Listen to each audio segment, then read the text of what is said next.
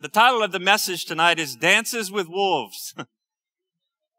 now, if you, if you could get through the title, there's one life application point, but I got to get through the title in order for you to get to, to that. I've been personally in a study of the book of Luke and the many interactions with Jesus really fascinates me. Jesus is always being set in, in a trap and he's always able to teach through those traps many gospel truths. Now, many people will be in Luke chapter 7, verses 36 and onward, and we'll be there except for two other verses. So it's really going to be, I guess you could say expository, just kind of staying in one specific story. Now, most people, when they look at the story, they only look at the immoral woman, but she is really only an element of the story. Really, Jesus is trying to evangelize the Pharisee. Remember, the Bible says that Jesus came to seek and save the lost. And he shows his power to forgive the, the most hypocritical, self-righteous Pharisees. He shows that ability to penetrate that stony heart. But many times they would just turn their head, head away. And Jesus is able to take this, in their minds, low life, wretched, immoral person and show the transformation power of the Holy Spirit. I love when we talk about forgiveness. What about you? With that being said, I want us to accompany Jesus to a dinner that Simon the Pharisee invited him to. And as well as you and I, we're going to go and sit there with them and see what goes on. Amen. In order for us to understand this story, we need to know a few things throughout the message that will help you understand what is unfolding here because there are many things that we just totally miss. And it's the most important aspects of the story. You know, Jesus is always blessing people, but this time we're going to see someone bless Jesus. And he's going to tell a parable that will resonate with every single one of us. The encounter opens up with an ungrateful Pharisee and a, and a grateful woman. This is the backdrop. This lady we look at, she must have had some type of prior knowledge of Jesus, and I'll tell you why in a minute. She must have heard his preaching, and her desire was to visibly go before Jesus and express her gratefulness for her forgiveness. You know, Jesus was constantly talking about how he loves sinners. And he wished that no one would die separated from him. We know that Jesus eating with Pharisees really shows that he was a friend of sinners. You'll get that in a minute. They thought they were not sinners. Remember, they looked down at their nose at other people. One could say that they were worse because they were self-righteous, people that did not think that they needed a savior. It was in a, Jesus was constantly attacking their self-righteousness, which is what moved the ball down the field towards the crucifixion. To them, they were the lowest of the low. The Pharisees were looking at them as the lowest of the low. But as Nathan Sam always says, they would sit high and look low. He says that about me, I guess. he says that quite often. That's not true. Kind of is, but it's not about me. But they only believed that God loved law keepers. And obviously they are not law keepers. Their motive was to have a dinner to trap and disrespect Jesus and to straighten him out. And I'll prove that to you in a minute. The story is not to be confused with some same similarities of, of the lady that wants to anoint Jesus' head in Matthew 26, in Mark 14, and in John 12. That's one specific story. This happened in Judea. So this is three accounts, but the one we're going to talk about is the one that is not this story. This is another place and another time. The story begins in verse 36 in the Galilee region. Here's the narrative. Now we're not going to really do an outline because I really only have one life application point for you. But here we go. Going to be more of a teaching type sermon, so I'm not, don't plan on spitting at you. Had enough of that this weekend. So let's look at the setting. Luke chapter 7, verses 36 through 37. Now one of the Pharisees was requesting him to dine with him, and he entered the Pharisee's house and reclined at the table. And there was a woman in the city who was a sinner. Let's stop there. Now Simon the Pharisee is hosting a party, and this is not Simon the leper in the other three categories. Simon is a very common name. There's Simon Peter, Simon the Zealot, Simon the father of Judas, Simon of Cyrene, Simon the tanner, Simon the leper, Simon the Pharisee, etc., etc. This is, was an invitation that was given. It's kind of like inviting the preacher to eat on a Sunday morning after he preaches. Jesus may have been teaching in, in the synagogue at the time, and they said, Hey, we want you to come over and eat, have lunch with us. And the scribes and, and the Pharisees already had their own society that said that he was a blasphemer. And we know this earlier in Luke chapter 5 because he would say he could forgive sin. So when you look at this situation, Simon in his mind is in a situation where he's trying to get Jesus to incriminate himself. They are trying to gather evidence against the Son of God in Simon's house. Now Simon is a hypocritical enemy along with the rest of his self-appointed righteous goons Just trying to find a better way to say that, but it's true. They were like a mafia of goodness. Thought they were so good. They were going around. I'm, I'm not going to start digging. religious. They were very religious. The, the, the fever pitch of hostility has not yet broken out. It is still simmering. They are still accumulating the evidence. Now, what you need to know here is what did not happen. When a rabbi entered a house, it was custom to give him a kiss on his cheek, a greeting. The other guests would be sitting in a U-shaped dining couch, dining area.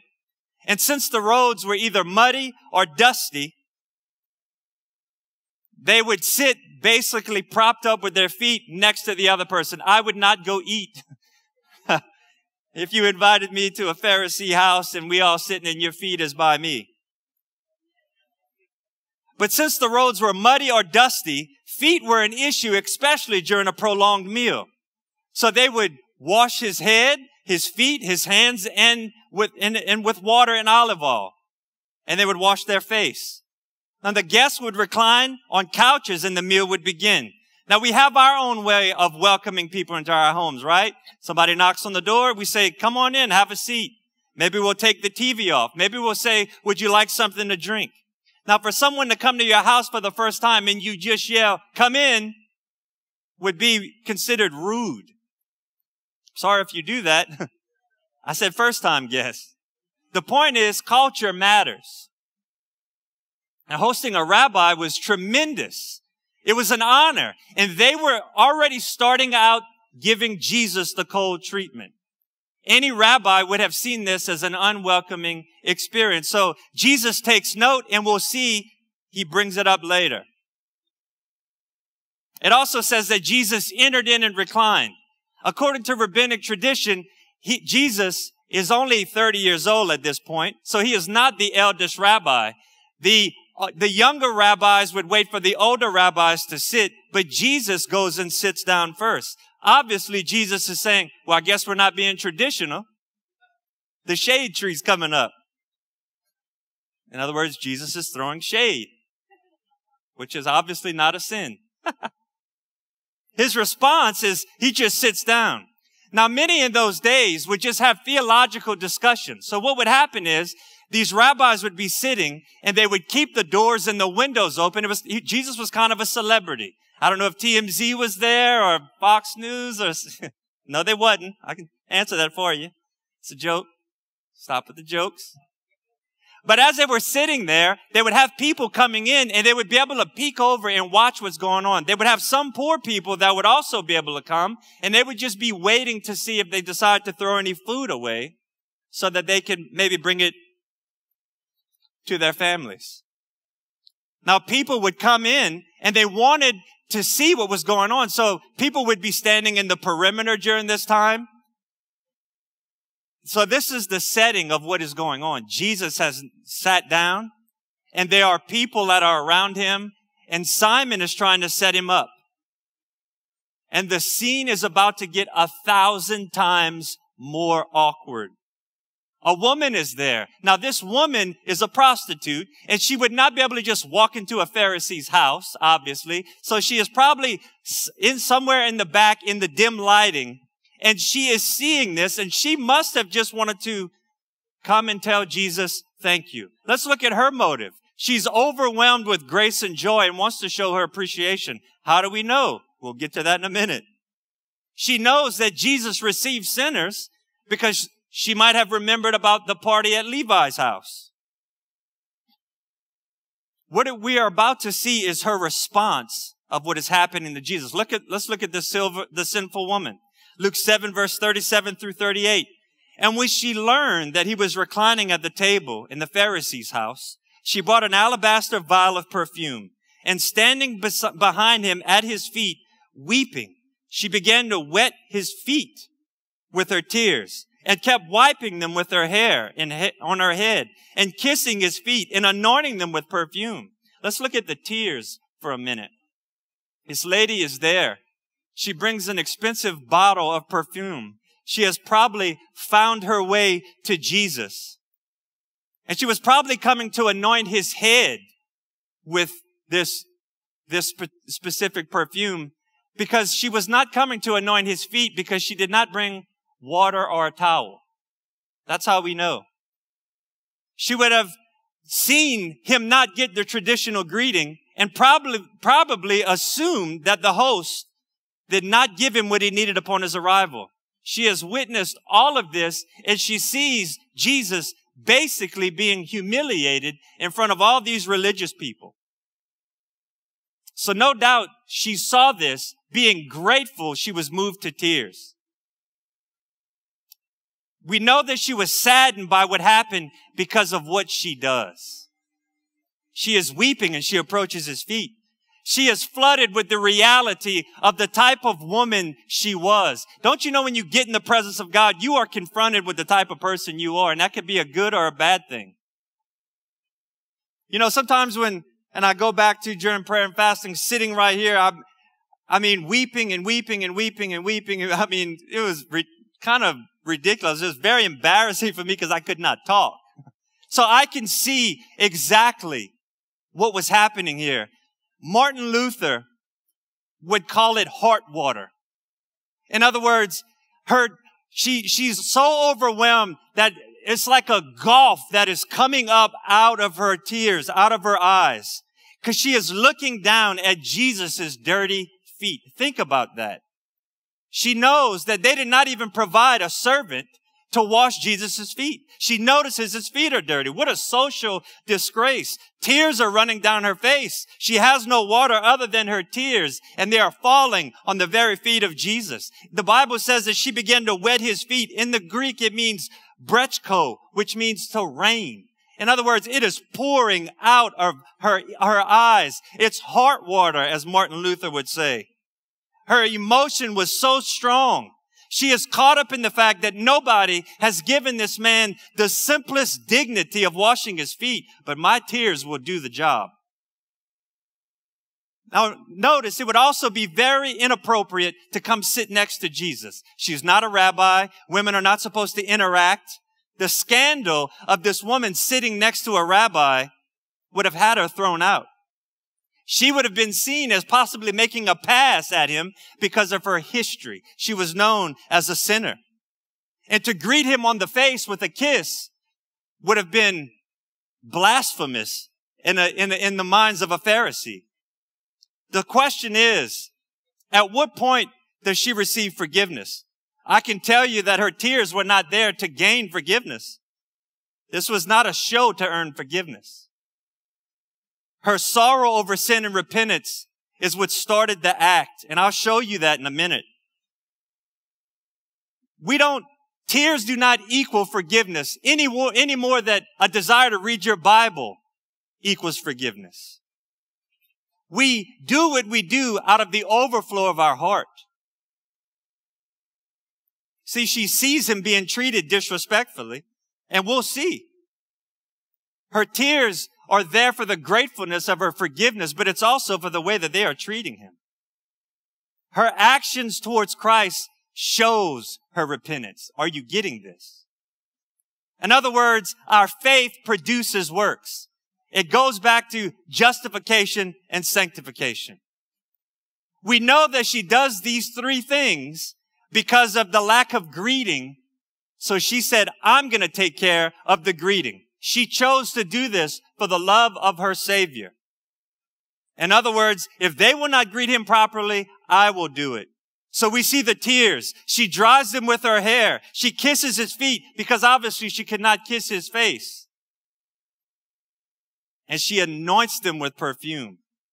In other words, think about this. She is entering into his suffering and his embarrassment.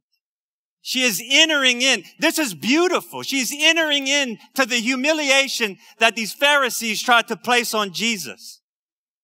You see, we become outcasts and rejected for the gospel's sake if we're living a righteous life according to the gospel. Paul and Peter would tell us that in Philippians 1, 29 and 30.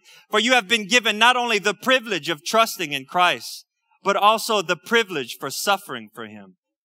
We are all in this struggle together. Look at what Peter would say in 4, 1 Peter 4:13. But rejoice that you participate in the sufferings of Christ, so that you may not you may be overjoyed when his glory is revealed, and that is going to be soon. Let's look at the hair. I want to talk to you about the hair. A woman was supposed to keep her hair covered in public. That's why you see all the depictions with them wearing something covering their head or their hair up. Now, rabbinic tradition actually says that if your wife goes out with her head not covered, you could divorce her. In fact, Rabbi Meir's teaching on divorce, he said it is literally your religious duty to put her away. Now check this out. Rabbi Hisda said that a woman's leg is an incitement. Rabbi Samuel said a woman's voice is incitement. And Rabbi Sheseth said a woman's hair is incitement. I mean, they're putting all of this on the women. It's up to the woman to cover herself, not to get the man to look in that way. That is absolute foolishness. Do you see the kind of bondage that women were under? And Jesus came to set them free. There was one lady that they actually uh, interviewed, and this is what she said. This really blew my mind. She said, throughout the days of my life, the beams of my house have not seen the braids of my hair. In other words, her, in her house, it was covered. The, the beams of my house have not even seen that. It was, they held it as such an honor. It's crazy to me, but it's religious bondage. Let me drive the point further. A woman was supposed to keep her hair covered, and the only time she would uncover it was the night that she consummated the marriage with her own husband during the wedding night. Now I'm telling you all this, think of the context of this woman who has wiped Jesus' feet with her hair. Now think about this. We know that this is an issue because they're looking at them. What is Jesus expected to do? What would you do? They would have seen this as grossly immoral and she should be punished. This is unacceptable behavior. And the, the scene shifts as the woman throws shade on Simon the Pharisee, which sets the stage for the parable that we're about to talk about. See, everybody in that room was a sinner except Jesus. Sinners who tried to keep the law and sinners who didn't care about the law. But all were sinners Luke 7, 39 and 40. Now when the Pharisee who had invited him saw this, he said to himself, if this man were a prophet, he would have known what sort of person this woman is who's touching him. She is a sinner. Now remember, this is what you need to know. They already disrespected him. So they're saying, you see, this ain't a prophet because if he would have known, if he would have known that, he would, he would know what kind of woman he's dealing with. So you see, we're validated by the disrespect that we've showed him. In their mind, Jesus should have rebuked them. But here's what we need to know. Jesus loves people. Jesus died for people, not rules. He died for people because people cannot keep rules on their best day. You know I know that? The rules are there to point us to Jesus. Are you getting this? But Jesus sees the cost of her sacrifice when he sees the perfume. Now rejection would have crushed her, right? Jesus is identifying and he knows that this woman sees the pain. He's the, she's the only one in the room that recognizes what Jesus is identifying with, with the rejection. It's a beautiful picture if you understand context. Luke 7 verse 40, the parable of the two debtors. And Jesus answered him, Simon, I have something to say to you. And he replied, say it, teacher. Now, this isn't just a normal thing. Jesus is using an idiom. In other words, he's saying, Hey, bro, I got something to say. Listen. This is what he's saying. It's very blunt. Then he says, Luke 7, 41 and 42.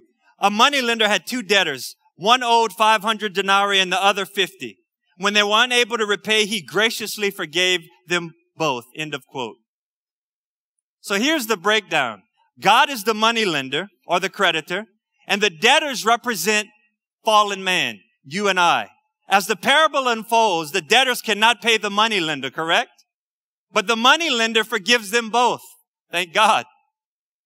The moneylender is also obviously Jesus because he is the one that would pay for our sin. So is Jesus actually forgiving Simon for being rude? Question mark. And the answer is yes. Here's what's actually going on. Jesus is pulling the curtains back and he's letting the, the parable set the table. Simon is being reminded of his rudeness and Jesus was not going to ignore being slighted. Remember, when you look at context, it's an awkward situation. But at the same time, Jesus is showing Simon, you're a sinner too, bro. It might be 50 denarii, and you might think this woman is 500 denarii, but both of you owe. And Jesus is willing to forgive both. See, that's the reminder to us when we judge each other based on our levels of sin. Let that echo in your soul. But the parable ends with the shift. It focused from the debt to the debtor's response to grace. Simon is waiting to focus on, he's, he's keeping his eyes focused on what this woman is doing. And Jesus is showing the response of the gratefulness of the woman being given. In other words, he shifts the entire scene with a question. He says in verse 42 and 43, so which of them will love him more? And Simon answered, I suppose the one whom he forgave more. And he said, you've judged correctly. Look the sarcasm in Simon's voice. I suppose. Like, duh. Well, Jesus has backed him into the proverbial corner and he has no choice but to give the right answer. Here, Jesus is actually expect, expected to apologize for this woman's act, but actually he's saying she's kind of making up for your foolishness. Jesus is defending her. Simon and his fellow rabbis chose to humiliate Jesus, and this unnamed woman sees the humiliation and steps in to the suffering and tries to do something about it, which is the only, and, and she dealt with it by just doing what she could with what she had. This is the life application point. Making a difference is just that simple. Just step up and whenever you can, make the situation better. That's next steps, class three. Find a need and fill it, see a hurt and feel it. That's what you do. That's how you make a difference. Find a need and fill it, see a hurt and feel it. And that's exactly what she is doing. She's saying, you know what? You could be the way you want to be. I'm going to step in. I'm going to fix this situation. And I'm identifying with what he's doing. And he's, she's basically taking all the attention. Imagine she's this, this prostitute and she's sitting here in this religious establishment with all these people and she's saying, you know what? I got you, Lord. That is beautiful. That makes your, your soul want to jump for joy. Luke 7 verse 44 and 48. Turning toward the woman, he said to Simon, do you see this woman? I entered your house and you gave me no water from my feet, but she has wet my feet with her tears and wiped them with her hair. Simon, you gave me no kiss, But she, since the time I came in, has not stopped kissing my feet. You did not anoint my head with oil, and she anointed me with perfume. For this reason I say to you, her sins, which are many, have been forgiven.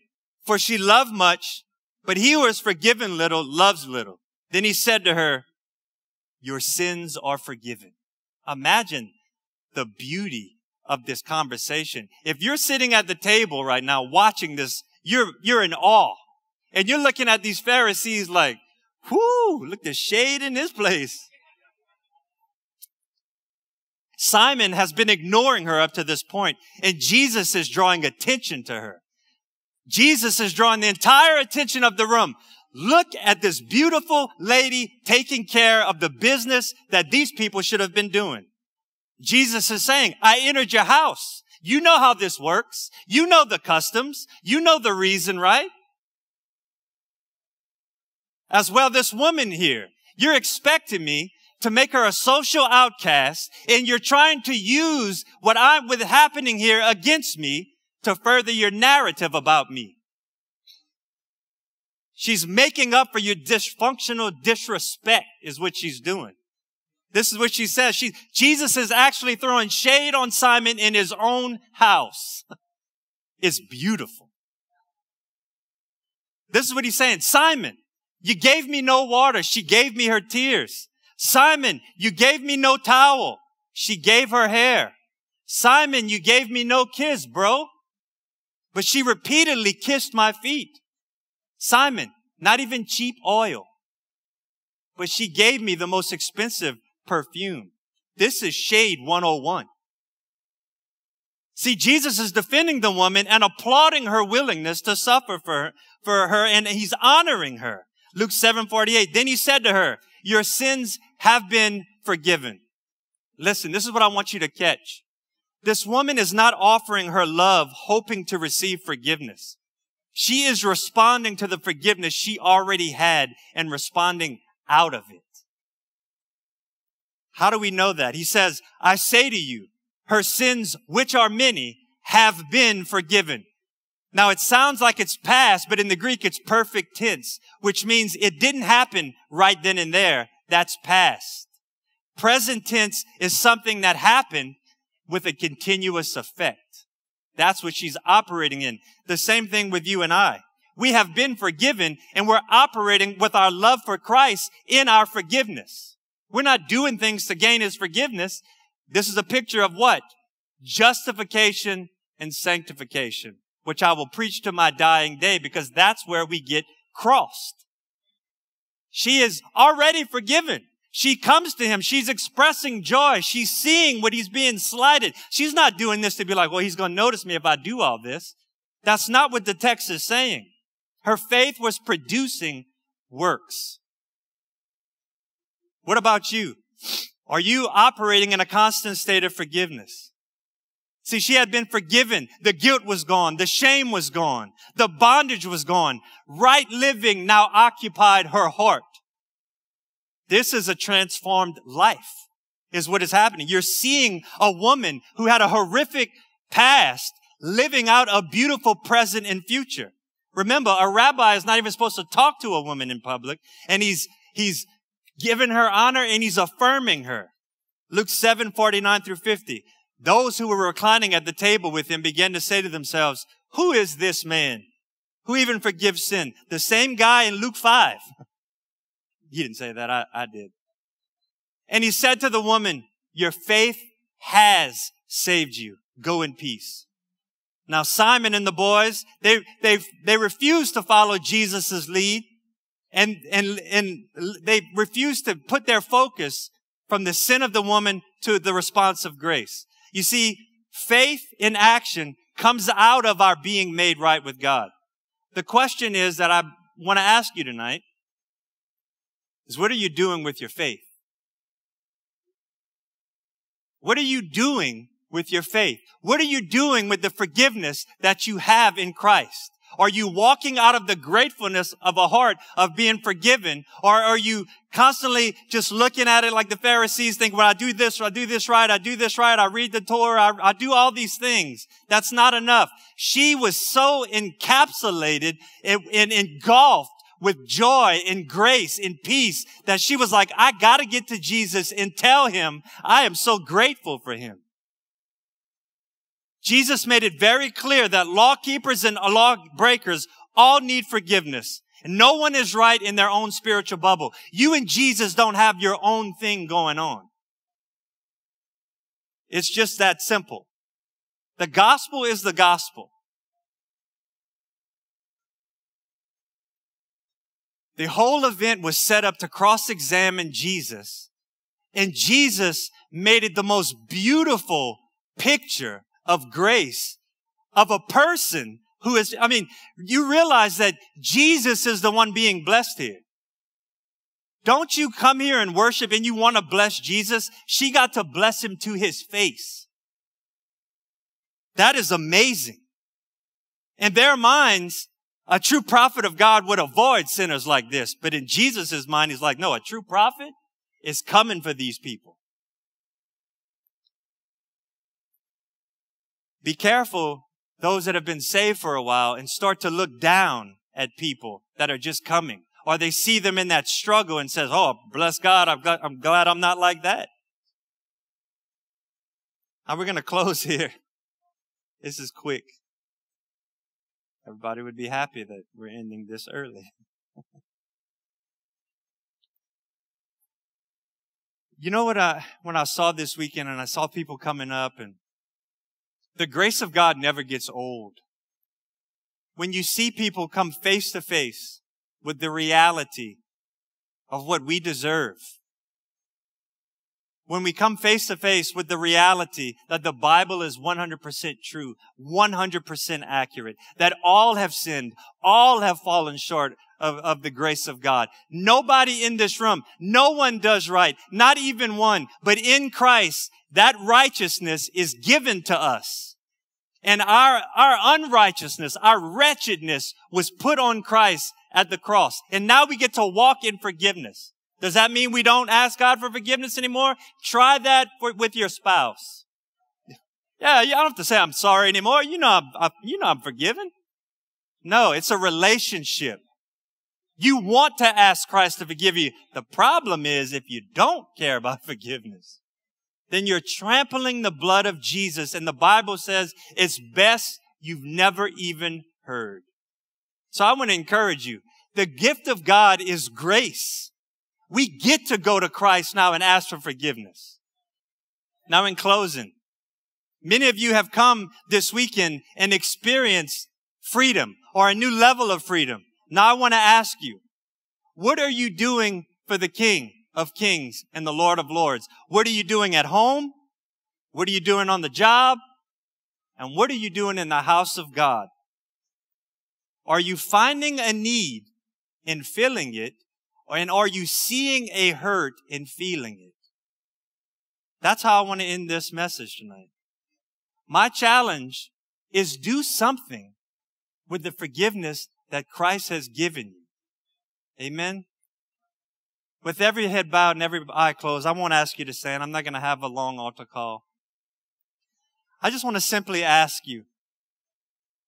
You can stand if you'd like. That's fine. I just want to ask you. What is the Lord asking you to do? What, who is the Lord asking you to make it right with? You know, we talked about that this past weekend and maybe you were like, uh, I just don't know. I, I hear what Pastor Brandon was saying uh, forgiveness. And I hear what Pastor Dixie was saying, and forgiveness and all these things. But man, I'm just not ready. Can I encourage you, man? After seeing this plane wreck situation, you're not promised tomorrow. Go make it right. It, like, like the verses that were quoted, at best, as best as you can, right? As best as you can, live at peace with others. If there's something in your heart towards somebody, I promise you God is asking you to make it right. I promise you. There's no need. God, what's your will here? His will is lay it down and go make it right. Leave your offering here. Stop presenting it. Pick your head up. look at me and go make it right. Amen. Father, I just come in the name of your son, Jesus. Lord, and I trust that this message has penetrated the hearts of your people. God, I'm asking that you would give them a heightened expectation to hear your voice, to carry out your will. Father, we thank you for this beautiful picture of what this woman did. Father, it is so inspiring to me personally. God, I'm asking that, that it was inspiring to your, your, your children, God. And I'm asking, Lord, that they would be able to take that same humble posture of this wonderful lady in the Bible that is still nameless. And Lord, that they will take what she did as a principle in their, in the house, in the workplace, and even here at church in the kingdom of God. Lord, I'm asking whatever it is that you have placed on the hearts of your people to do with this message, Lord, I'm asking that you would give them the grace and the power to respond to what you're telling them to do. Father, if there's any here that does not know you as Lord, God, I'm asking that you would save their soul. Your word says that if we have any sin, that you are faithful and just to cleanse us and wash us from all unrighteousness. Come on, if you have not received Christ, I want you to, all of us to pray this together. And you might say, I've never prayed this prayer and it's not the prayer that saves you. It's the fact that you are turning your heart towards Christ and that you're going to walk in obedience and salvation and power. Father, we thank you in the name of your son, Jesus. And Lord, we ask that you would forgive us and that you would cleanse us from all unrighteousness. God, we don't want to be Pharisees. God, we don't want to be people that have forgotten what forgiveness is like. God, we come to the cross again and we ask that you would wash and cleanse, that you would give us the mind of Christ, that you would give us the power of the Spirit, Lord, to, for, for our lives to change and be regenerated. And Father, we ask that you would allow us to walk out that sanctification process and bless others as we bless you in faith and obedience. God, we thank you for dying on the cross for our sins. We thank you for being raised from the dead so we could also walk in newness of life. Father, I thank you tonight. I ask that you would bless these as they go. We love you and we thank you. In Jesus' name we pray. And the church said, Amen. Come on, give the Lord a hand clap of praise. Well, you can stand up, and if you need prayer, you can come up. If not, you have a good night. God bless you.